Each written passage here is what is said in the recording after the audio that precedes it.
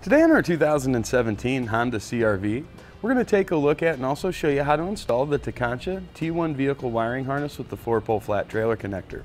Its part number is 118741. Now this is what your wiring kit's going to look like when you pull it out of your packaging. It's a very straightforward application. Basically in the rear of the vehicle there's going to be a 6-pin connector. We're going to plug that into and also ground out this wire.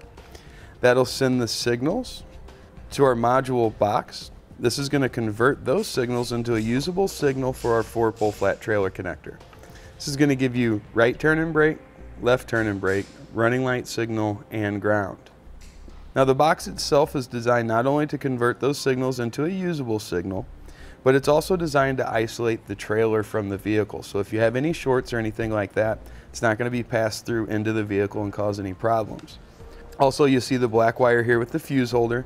Now this is designed to get its power from the vehicle, not from the lighting circuits.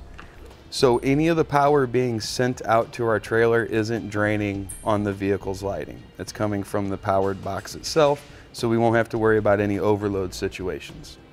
Now to gain access to our plug, we're going to be removing some floor coverings and such here in the back. We'll start with the main floor panel.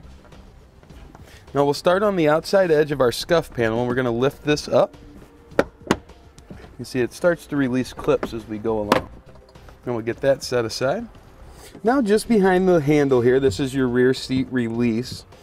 There's going to be a little tab on top of that cover. You want to pull down on that tab. You can lean that cover out. We're going to set it aside. You see it's right here. Next we'll lift up on this corner when we do, you're going to see a small little tab come out there. Once that's out, we'll start pulling outward to release the clips along this edge.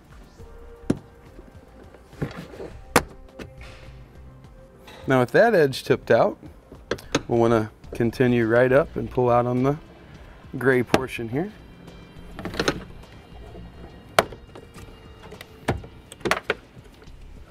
Now just in behind that panel, just around the corner, we're going to have our plug.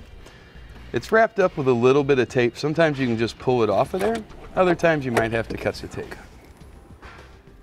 You'll see the plug once we have it pulled up. We can just plug our electrical connector right into that. We'll take our connector, match it up and slide it together there. You'll hear a click and then you should push pull on it just to make sure you get a good solid connection. Just like that.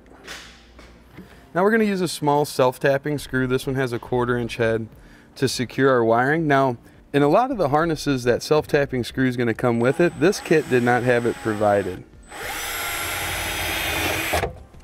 Let's see, we'll just get it started in a nice solid piece of body metal there.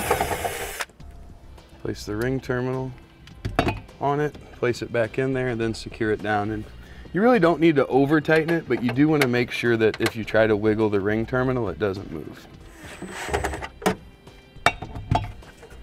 Now we're going to tuck our wiring in close to the bottom. You see we've got plenty of four pole connector here.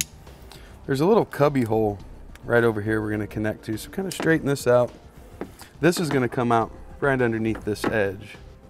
We'll take the back of the box. We want to use some rubbing alcohol on that get any oils or anything that might be on there off. Then we'll grab the double-sided foam tape. Get that put on the back. Peel that off. And now right in this area, there's gonna be a little pocket. See it right there? Let's clean off that flat surface and we'll tuck it, our wiring right in there and get it secured. Just like that. Little excess of the wire loom, tuck that down out of the way. Then the four pole, just bring it down and out the bottom here. Now we start lining up our fasteners again and just pushing them into place. You can work that weather stripping out as you go.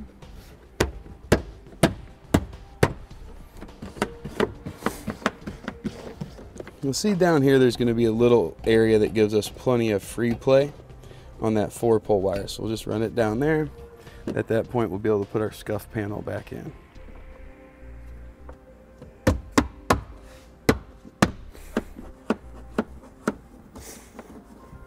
Now you want to slide the bottom of that cover back in place and then just push it towards the outside. That'll clip in. And we can also put our floor pan back in. Now something I like to do to keep this looking a little bit nicer and tidy, just bend, fold it over on itself back and forth and then you can use the dust cover to keep it bundled up. Now when we're ready for use, reach in, I'm gonna unplug it and you can allow that to hang right over that threshold. It'll draw out whatever length you need to make your connection with your trailer and then that weather seal is going to make sure that it stays protected. So when your hatch closes, it won't get pinched. You do need to avoid, of course, the striker area. That will cause damage to your wiring. The next step is to check underneath our dashboard. We're in the driver's side floorboard. This is the outside edge of the car. Your fuel release is here, hood is here. There's a fuse box right above it. If we look in the very top row, you've got one, two, and three rows. Top row, three over, if this is empty, if there's not a 15 amp fuse in there already, you can put in the one that comes with the kit. This vehicle already had a hitch on it. That's likely why that fuse is already there, but definitely check it out. If you need to place it in there, it is provided with the kit. Now to test out our wiring, we're gonna use part number I26. Just gonna simply plug in. Well, now we can go run through our lights and we should see them light up accordingly.